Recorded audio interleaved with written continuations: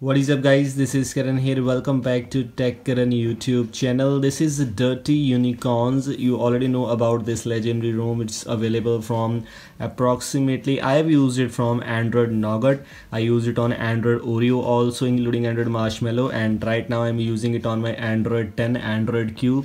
Redmi Note 8, I have this build on installed which is unofficial build actually. You can install this on your Redmi Note 8 also. And the link for this build is in the description, you can go and install this. And this video i'm going to show you which the things you get in this dirty unicorns. It is have any many many customizations or not and which the things you get here everything in this video. So let's get started guys first of all the things which you get here is the default wallpaper. We have the dirty unicorns wallpaper pre-installed with red and kind of a black and little bit of gradient. These kind of looks you can see here. You can simply go to the wallpaper section here and you can see app is not installed. So we can go and install this app from the play store directly if we want to but we don't need to install this by default with the pixel launcher available here. And if we tell you which is the pixel launcher which is the default launcher as i already told it's a pixel launcher pre-installed. If you go to the about section you can see version 10 its app info is pixel launcher which i have installed right now.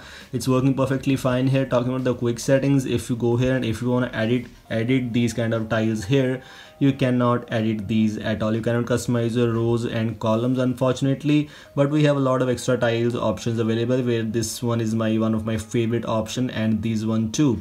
Immersive mode accent color some cool kind of tiles options are available in quick settings which you can check out if you want to unfortunately you cannot adjust the rows and columns which is a little bit of kind of a different difficult thing for me because I sometimes choose 2 by 3 which is available in Android version 11 but in Android 10 we have this 3 by 3 and I didn't like that fortunately. We have this dirty unicorns logo at the status bar which you can enable directly from the settings if you want to. It all depends upon you. Other things looks kind of same thing. I've installed some apps and these are working perfectly fine. Didn't got any major issues still now. If you go for the Magisk manager you can see my safety net status is passed I'm using the latest Magisk 8.0.2 the Magisk Manager but I'm using the Magisk version V20.3 I'm not sure about the 20.4 version. I'm not sure about the 21 which is Magisk V21 but in Magisk V20.3 the safety net status is passed. Let me show you once again. As you can see it's success. So I didn't got any issues here also. Everything else is perfectly fine. Let's move on to settings. Find out some things which you get here. You have any customizations or not Actually Corvus OS and Dirty Unicorns are kind of little bit of same kind of things if you know about Corvus or Corvus OS also has these kind of things dirty tweaks.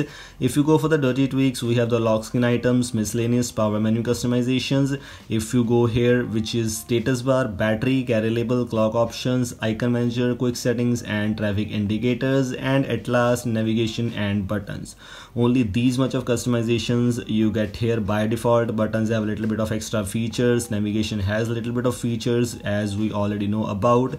If you go to the status bar we have the battery customizations we already know about carrier label clock options.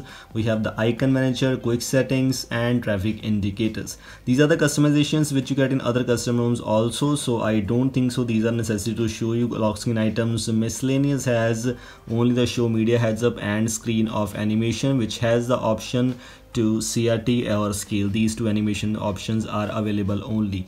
These were the things you have dirty you have in dirty tweaks. If you go for the themes options here you can customize the accent color you can customize the fonts. Right now i've applied the ubuntu fonts and you can see these are working perfectly fine and that's also kind of looking interesting. Status bar quick settings icon which you can customize system theme and this is a good kind of thing that you can schedule the system theme that you can turn out at the system theme like the google doc if you want to turn it on at scheduled time we can choose a pitch black and solarized dark. Four kind of themes you have pre-installed. And I sometimes use a light theme more so that's why I have chosen this one. If you go for the other things network and internet connected devices apps and notifications battery etc kind of same things. You didn't got any extra features here and there. You can customize your lock screen timeout rotation wake on plug option available here too double tap to wake and other things here and there we already know about. We also have the Xiaomi parts available. Let me show you once. By going into settings by going to Xiaomi parts.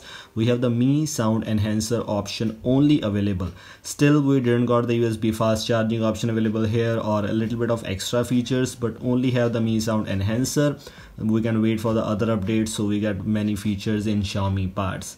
These were the things which you get in dirty dirty unicorns latest android 10 based unofficial build for redmi note 8 users. If you're also redmi note 8 user and also redmi note 8t this is a unified build so can be installed on both. You can go and install this build right now on a device if you want to. The link for this build is in the description. It has the google apps pre-installed. You can install the google apps if you want to but have first you have to remove these google apps which are pre-installed these things. Thanks for watching. Goodbye